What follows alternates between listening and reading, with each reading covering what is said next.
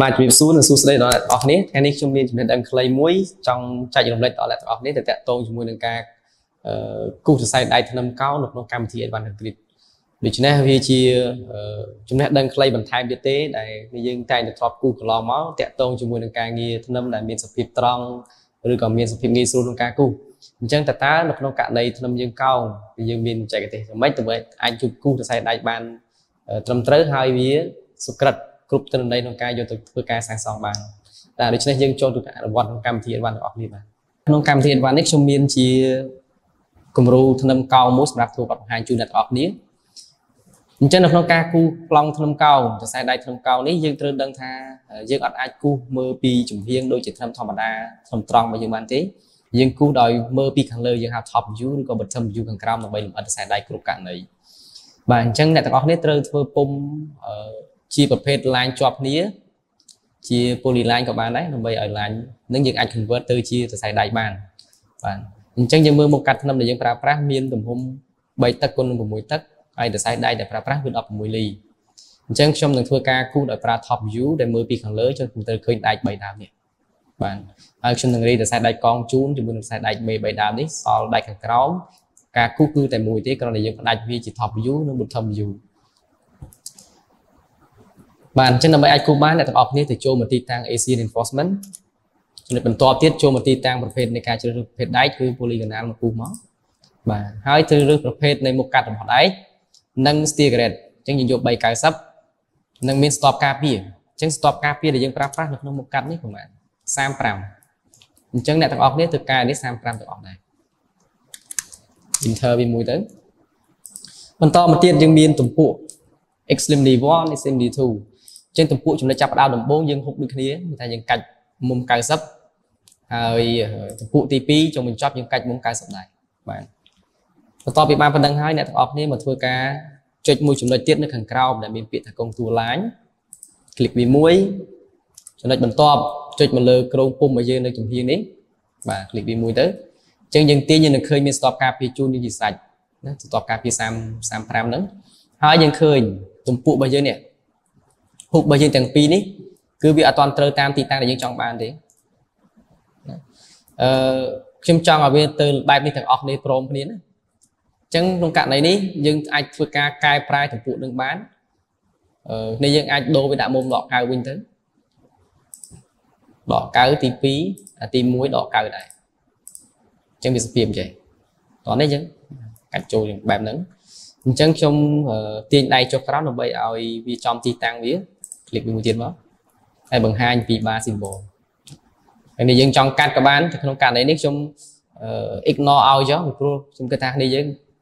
នឹងបានស្វែងយល់បានច្រើនហើយតាក់ទងជាមួយនឹងការកាត់សរសៃដែកនៅក្នុងកម្មវិធី Advanced នោះបន្តមកទៀតយើងមានដែកសល់ដែកពីរដើមទៀត អញ្ចឹងដែកមួយចំហៀងខាងក្រៅនេះយើងធ្វើការអឺ convert line នេះទៅជាដែកមួយតង់ទៀតមកដដែលទេគឺយើងជួល AC reinforcement ជួល polygonal ដដែលហើយសន្ទាប់ការពាររក្សាដដែលណា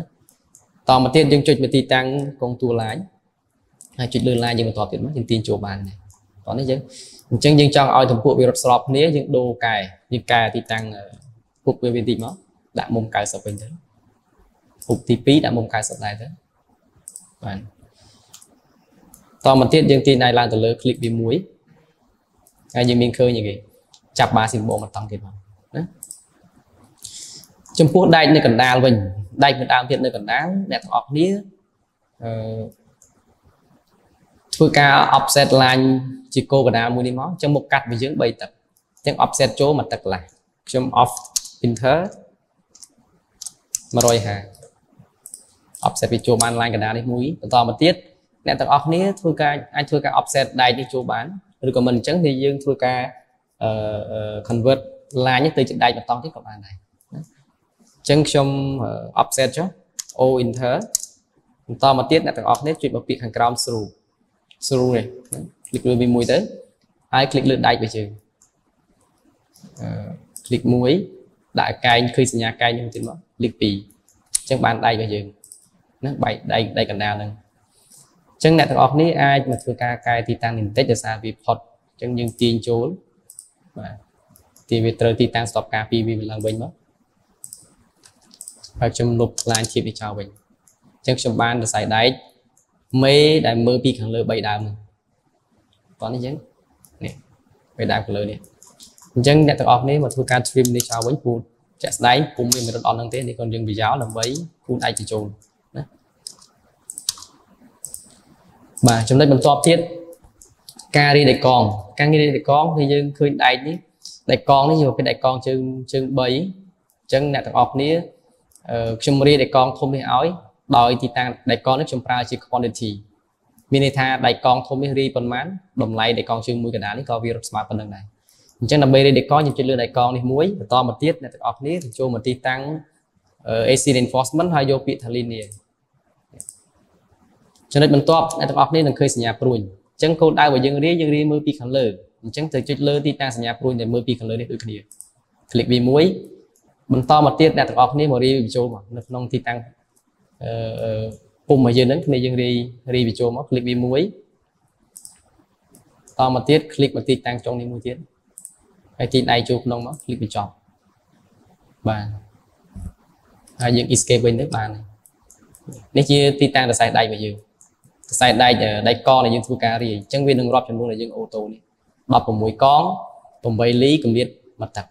ដូចគ្នាដែរនៅទីតាំង span ផ្សេងផ្សេងទៀតគឺការងាររាយដែកកគឺតាមសភាពដោយដែលខ្ញុំធ្វើបង្ហាញមុននេះជាឧទាហរណ៍ស្រេចណាធ្វើដូចគ្នាទាំងអស់បាទសូមអរគុណច្រើនសម្រាប់ការតាមដានវីដេអូការធ្វើ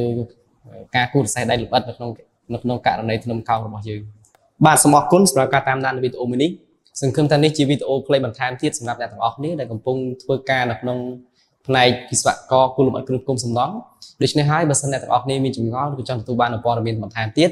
សូមទំនាក់ទំនងមកខាងសាលាពហុបច្ចេកទេសលីគីទាំងអស់គ្នាបានសូមអរគុណ